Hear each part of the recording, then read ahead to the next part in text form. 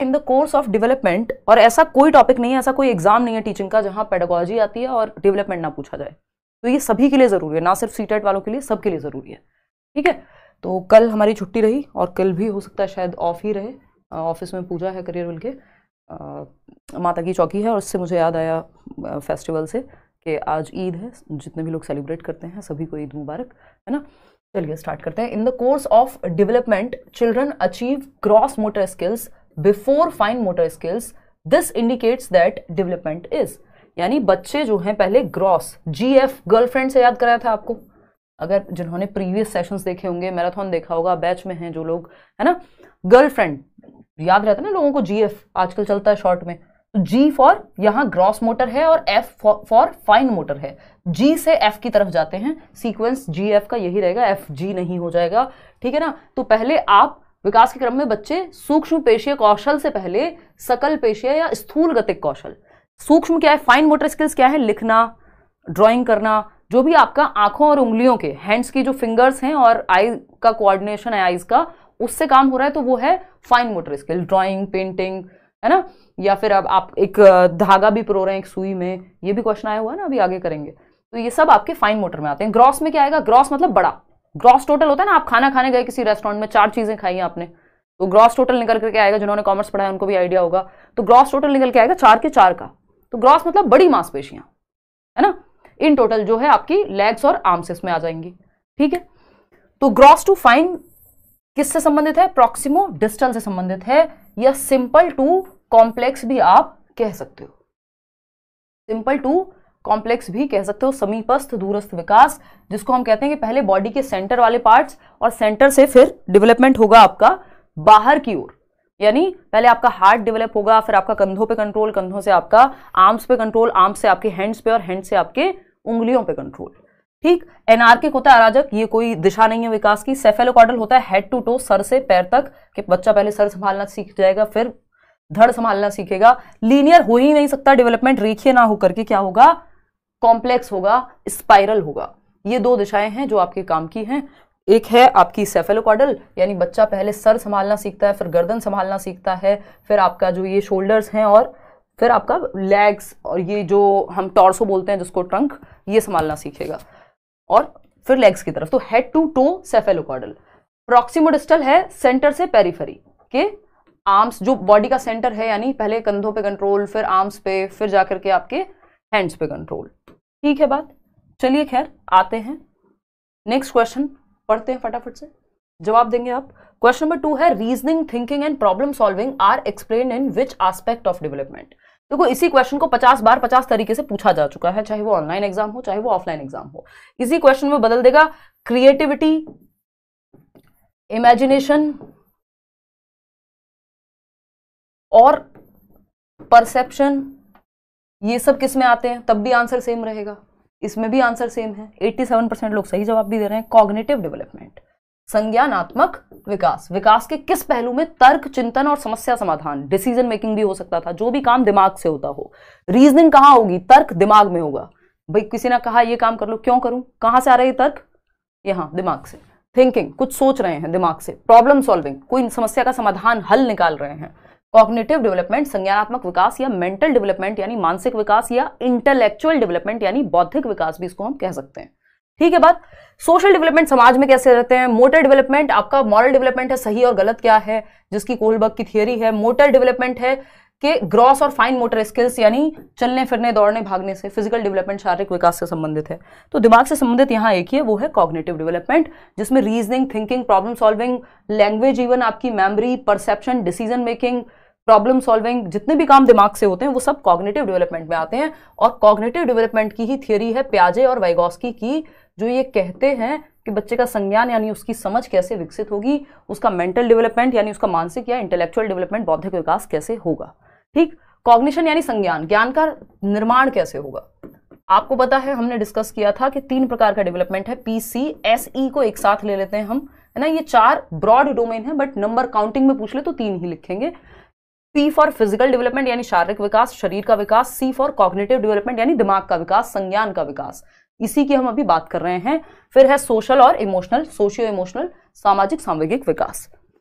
अगर हम बात करें यहाँ पे, ब्रेन के होते हैं दो हेमिस्फीयर ये हम सालों साल जीवन पर्यंत से डिस्कस करते आ रहे हैं। लेफ़्ट ब्रेन और राइट ब्रेन है ना? राइट ब्रेन को क्रिएटिविटी से कलरफुलनेस से जोड़ दिया जाता है। और left brain L for logic L for left brain या एल फॉर लैंग्वेज तो लॉजिक यानी जो तर्क है, या लॉजिक है वो ब्रेन के लेफ़्ट हेमिस्फीयर से, जो आपका बाया गोलार्ध है, उससे जुड़ा हुआ होगा।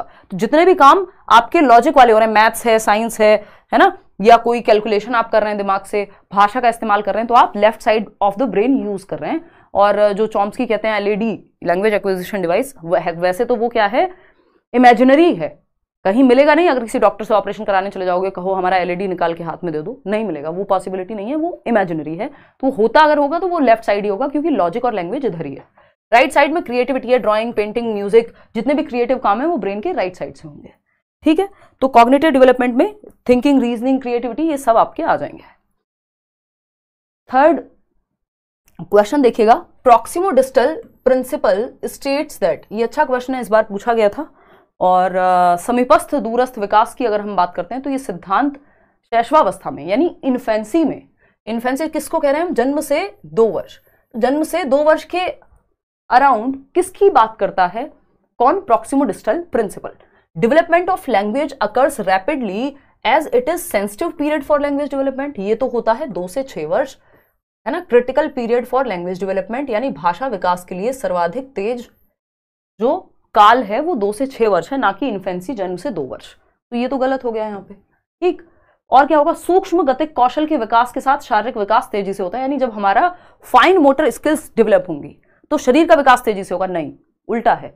जब ग्रॉस मोटर स्किल्स यानी आपके ये जो भुजाएँ हैं, यानी आर्म्स हैं लेग्स हैं, जो बड़ी मांसपेशियाँ हैं, उनका विकास होगा, तब तो शरीर का विकास हमें बड़ा सा नज़र आएगा। अदरवाइज़ फाइन मोटर स्किल्स तो उंगलियाँ तो आपकी जन्म से हैं।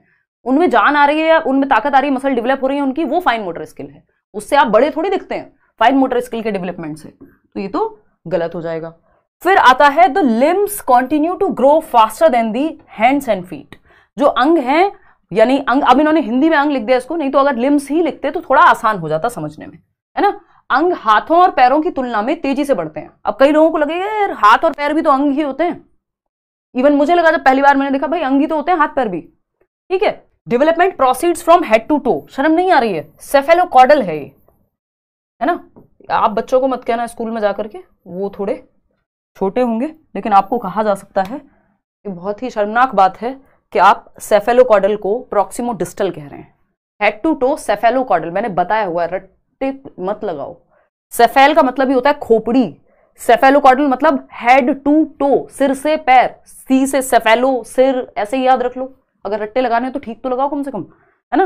वैसे तो ज़रूरत नहीं होनी चाहिए। तो सेफेलोकॉडल मतलब सर से पैर हेड टू टो जब हेड टू टो की बात हो ही नहीं रही, उन्होंने पहले कह दिया, हम प्रोक्सिमो डिस्टल पूछ रहे हैं तो आप क्यों जवाब दे रहे हैं? हैं?